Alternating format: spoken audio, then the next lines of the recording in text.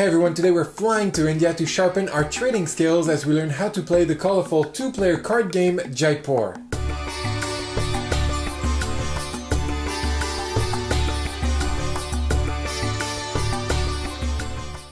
Here we are at the Jaipur market surrounded by all sorts of sights, sounds and smells.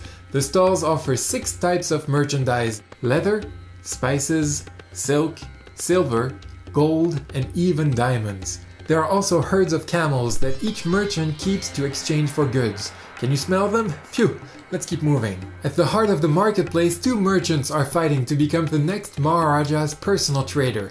Their dispute spans over three weeks, represented by three different game rounds. As merchants sell and trade goods, their goal is to become richer than their opponent at the end of each week. The winner of the game is the richest merchant of two of these three weeks. So, which merchant will have the honor to serve the Maharaja? Let's find out. Before the game, create a single market by placing three camels down and add two random cards representing various goods.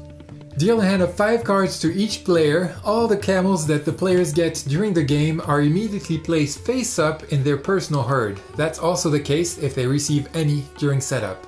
Taking turns, players decide to collect or exchange goods from the market or sell some from their hands. Let's start by seeing how to obtain new goods and then we'll see how to sell some and make money. First, players can collect as many cards as desired from the market, but have to replace each good taken with cards from their hand or with camels from their herd.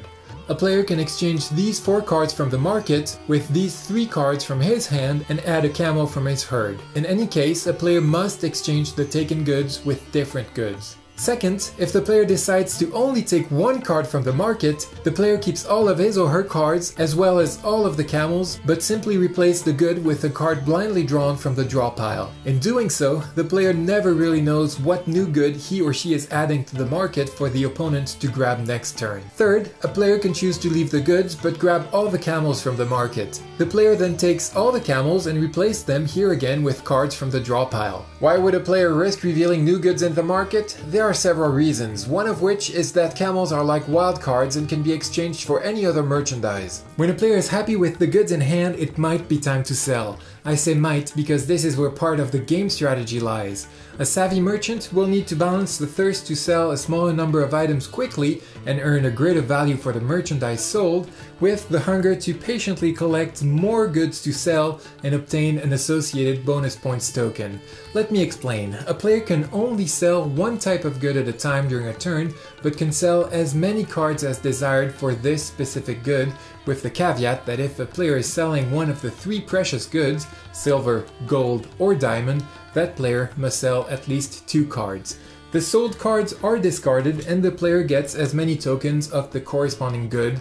These tokens represent points, but they don't follow a one-to-one ratio with the number of sold cards. For instance, the first player to sell 4 spices will obtain the first 4 available spice tokens, respectively worth 5, 3, 3, and 2 points, for a total value of 13 points. As you can see, the tokens are all sorted in decreasing value order, which means that merchandise loses value as more of its kind is sold. Better sell fast to snatch the larger value tokens which are worth points at the end of the round. The first 3 leather cards sold are worth 4, 3 and 2 points, while the 6 following cards are only worth 1 point each. As for precious goods, the first 2 diamonds sold are worth 7 points, while the following 3 get 5 points each.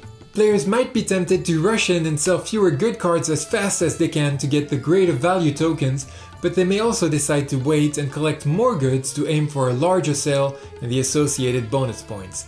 If a player manages to sell at least 3 cards, he or she can grab one of these bonus tokens to score more points at the end of the round. For instance, if a player sells 3 silver items at once, a player first grabs the 3 silver tokens, like usual, then draws one of the bonus tokens marked with the 3 cards. The amount of points is only printed on the back of the token and will only be revealed at the end of the round. The tokens for a 3 card sale are worth 1, 2, or 3 points, the tokens for a 4 card sale are worth 4, 5, or 6 points, and finally, the sales of 5 or more cards give 8, 9, or even 10 points.